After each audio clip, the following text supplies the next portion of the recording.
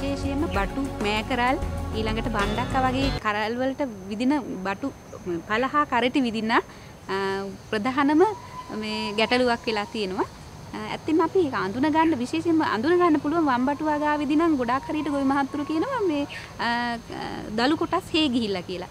එතන කඩලා බලපුවාම මෙන්න මේ ආකාරයට කඩලා බලපුවාම මේකේ ඇතුලේ පණුවෙක් ඉන්නවා. මෙතන ඌ කරන්නේ මෙතන මේ කරටි විදලා බිත්තර දානවා. ඊට පස්සේ බිත්තරේ පිපුරල ඇතුලේ පණුව වර්ධනය වෙනවා. ඌ කාගෙන යනකොට තමයි අපිට මේ මේ ආකාරයට හේ ගිහිල්ලා දකින්න ලැබෙන්නේ.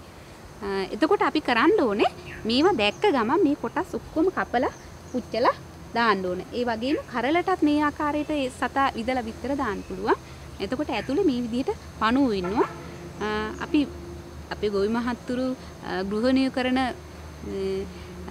වැරදි වැඩක් තමයි දැන් අපි මේවා මෙහෙම කඩලා තැනින් තැන විසි කරනවා. ඇත්තට මේක කරන්න හොඳ නෑ. මොකද මේක මේ පණුවගේ විශාල සත් මේ එන්නේ සලබේ. ඊට පස්සේ ඒ සතා නැවත විදලා බිත්තර දාපුවම තව වගාවේ එක ගුණේ නෙමෙයි 10 ගුණයකින් ඉක්මනට පැතිරෙන්න පුළුවන්. ඒ නිසා අපි කරන්න ඕනේ මේ ඔක්කොම කඩලා එක්ක ගැඹුරු වලකට දාන්න ඕනේ. එහෙම නැත්නම් පුච්චලම than down.